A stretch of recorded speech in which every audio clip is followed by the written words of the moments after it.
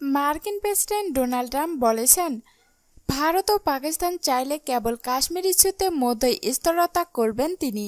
তবে তিনি বলেন, কাশ্মীরকে ঘিরে যে বিরোধের সৃষ্টি হয়েছে, তা ওই দুই দেশকে মিটিয়ে ফেলতে হবে।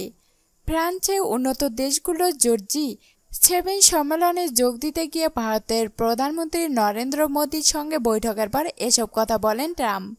বার্তা সংস্থান বয়টাসের প্রতিবেদনে বলা হয়েছে, জি সেভেন সম্মেলনে যোগ দেওয়ার পাশাপাশি আজ সোমবার দ্বিপক্ষীয় বৈঠক করে মোদী ও ট্রাম্প।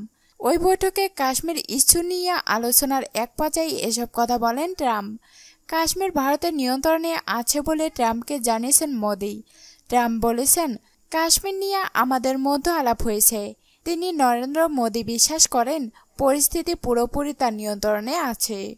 মোদি বৈঠকে বলেছেন, দুই দেশের সমস্যা তারা নিজেরাই মিটিয়ে নিতে পারবে।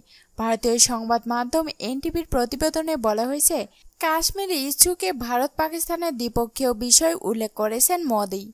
তৃতীয় পক্ষের হেনস্থ পক্ষ ছাড়া দুই দেশ নিজেদের সমস্যা মিটিয়ে নিতে পারবে, এমনটাই বলেছেন মোদি। ভারত ও পাকিস্তানের মধ্যে অনেক দ্বিপক্ষীয় বিষয় আছে। যেসব বিষয়ে আমরা কোনো তৃতীয় দেশকে আমরা এসব বিষয় নিজেদের মধ্যে আলোচনা করে সমাধান করতে পারব। দুই দেশের মানুষের স্বার্থের জন্যই ভারত ও পাকিস্তানের একসঙ্গে কাজ করতে হবে।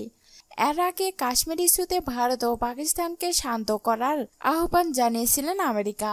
একই বিষয়ে পাকিস্তানের প্রধানমন্ত্রী ইমরান খানকেও টেলিফোনেও করেন প্রেসিডেন্ট ট্রাম্প। টেলিফোনে জম্মু ও কাশ্মীর পরিস্থিতি নিয়ে নমনীয় ভাষা ব্যবহার করতে পাকিস্তানের প্রধানমন্ত্রী ইমরান খান পরামর্শ দিয়েছেন ট্রাম্প।